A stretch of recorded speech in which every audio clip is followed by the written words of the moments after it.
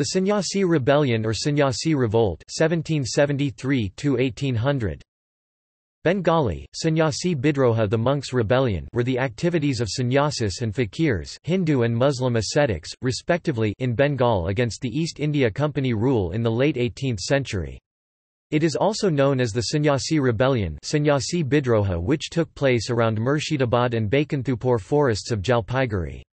Historians have not only debated what events constitute the rebellion, but have also varied on the significance of the rebellion in Indian history. While some refer to it as an early war for India's independence from foreign rule, since the right to collect tax had been given to the British East India Company after the Battle of Buxar in 1764, others categorise it as acts of violent banditry following the depopulation of the province in the Bengal famine of 1770.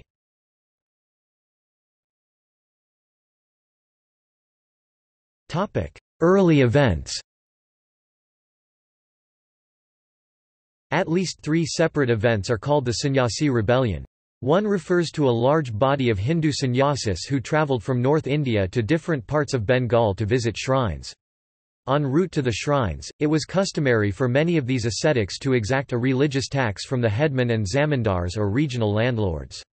In times of prosperity, the headmen and zamindars generally obliged.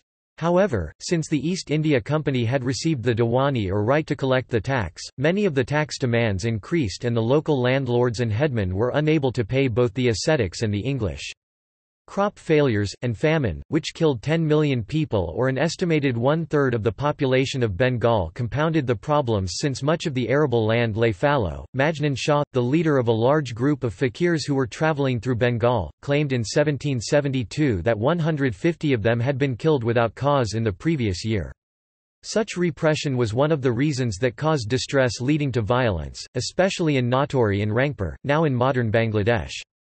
However, some modern historians argue that the movement never gained popular support. The other two movements involved a sect of Hindu ascetics, the Dasnami Naga sannyasis, who likewise visited Bengal on pilgrimage mixed with moneylending opportunities. To the British, these ascetics were looters and must be stopped from collecting money that belonged to the company and possibly from even entering the province. It was felt that a large body of people on the move was a possible threat.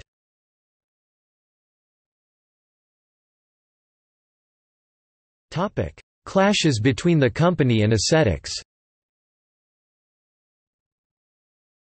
When the company's forces tried to prevent the sannyasis and fakirs from entering the province or from collecting their money in the last three decades of the 18th century, fierce clashes often ensued, with the company's forces not always victorious.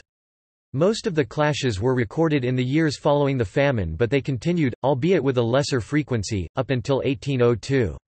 The reason that even with superior training and forces, the company was not able to suppress sporadic clashes with migrating ascetics was that the control of the company's forces in the far-removed hilly and jungle-covered districts like Birbhum and Midnapur on local events was weak.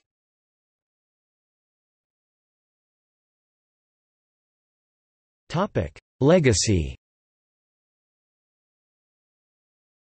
The Sannyasi Rebellion was the first of a series of revolts and rebellions in the western districts of the province including but not restricted to the Chuar Revolt of 1799 and the Santhal Revolt of 1855–56.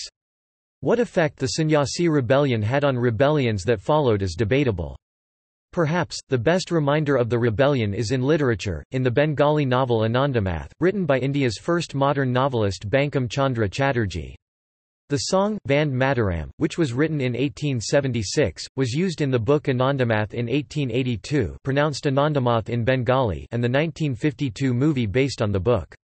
Vande Mataram was later declared to be India's national song not to be confused with the Indian national anthem.